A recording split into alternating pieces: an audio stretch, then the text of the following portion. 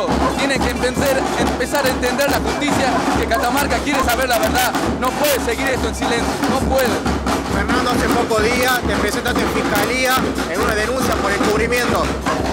Exactamente, porque queremos saber qué pasó, por qué se cometieron tantos errores, por qué, se, por qué la justicia cometió tantos errores de una muerte natural a después una muerte violenta. ¿no? Eso no lo podemos entender ni lo vamos a entender. Y necesitamos que la gente que estuvo ahí tenga que dar declaración y tenga que aclarar qué pasó y que se hagan responsables. Para eso trabajan. Obviamente que hay un malestar por parte de la familia, amigos de Rojas, porque hasta ahora no hay ningún culpable, no, hay indicios de, de, quién hizo esto. No hay nada, ¿sí? la familia está todos los días esperando algo, un llamado, algo que nos digan, que nos, que nos dé tranquilidad, que nos podamos saber que vamos en el camino correcto, pero no tenemos nada.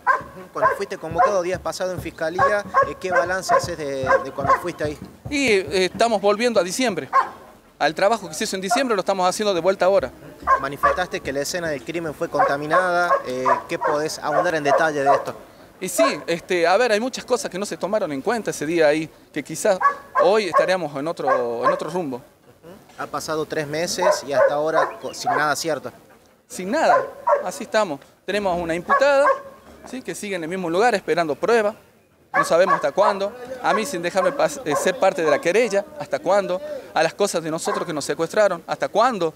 ¿Cuándo vamos a seguir así? ¿Cuántos meses vamos a seguir esperando? ¿Van a pedir que se abonen otras líneas, otras hipótesis?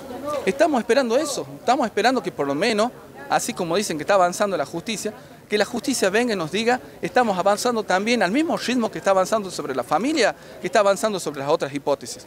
¿En lo particular tenés miedo, ya que fuiste citado a declarar, tu familia también? No, no tengo miedo. Nosotros consideramos que es normal que nos llamen a declarar, ¿sí? porque es un proceso para poder aportar datos, todo lo que más se necesite.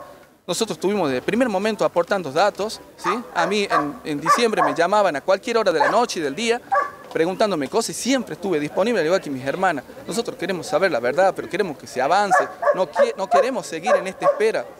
Hablabas de un cabello, de cuando lamentablemente encontraste a tu padre fallecido. Eh, ¿Esto también se lo pudiste decir al fiscal? Está, eh, está en, una, en una nota que entregó nuestro abogado, ¿sí?